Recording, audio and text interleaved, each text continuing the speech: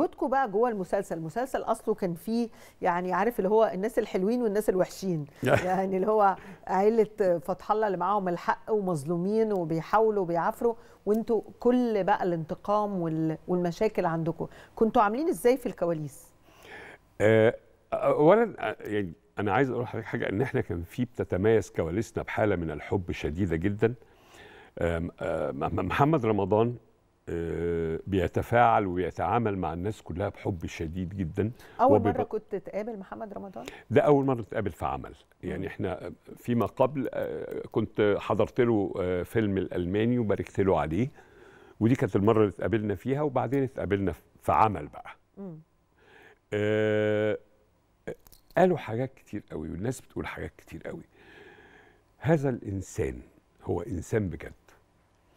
من مواقف كتير حصلت داخل ال- إيه المواقف في حاجات مش هقولها إنما طبيعته بقى إنه يدخل ويصبح على الناس كلها والكومبارس وياخدهم بالحضن ويسلم عليهم وعايزين يتصوروا يتصوروا ما يقولش لحد لأ ابدا مم.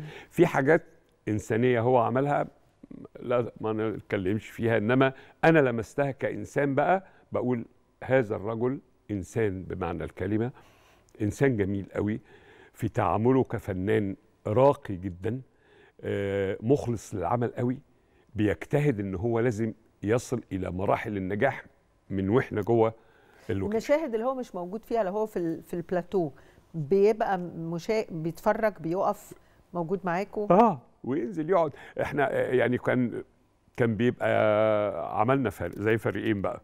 إحنا فريق فتح الله قاعد قدام محل الذهب وهم بيقعدوا قدام مكتب جعفر العمدة. بالظبط. وبيراجعوا مشاهدهم وإحنا بنراجع مشاهدنا وبنبص لبعض وحاجات كده لغاية ما نخلص طبعا أصحاب أيوة. وحبايب جدا ومحمد سامي بصراحة آه، اضفى جو من الحب على المكان بخفه دمه وهزاره وساعة الجد بيبقى فظيع محمد سامي كان في لحظات والله يا ربي كان بيشتغل والمحاليل متعلقة في إيده وبيبقى بيموت وبرضه مصر إن هو يشتغل وبيبذل المجهود مضاعف عشان يطلع العمل بهذا النتيجة. أنا ما شفتش ده في مخرجين كتير قوي ومن زمان قوي. مم. ولذلك العمل آه، أنا بقول جعفر العمدة وفي زمان ليالي الحلمية آه، في حضن الجبل وذئاب الجبل وفي والسلسلات اللي كانت الكبيرة اللي كانت بتشد الناس. طبعا طبعا. طيب قبل ما أروح فاصل عايزة منك حاجتين وهنرجع نكمل كلام أكيد تاني في آه، جعفر العمدة. مين الممثل بعيد عن محمد رمضان والبطل اللي أبهرك؟ ما كنتش متخيل إنه يعمل النجاح ده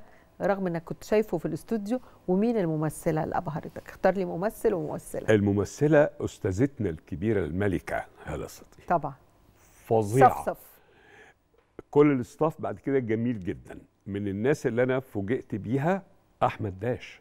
مم. ده الولد ده هيبقى نمرة واحد كممثل جان في الفترة الجاية.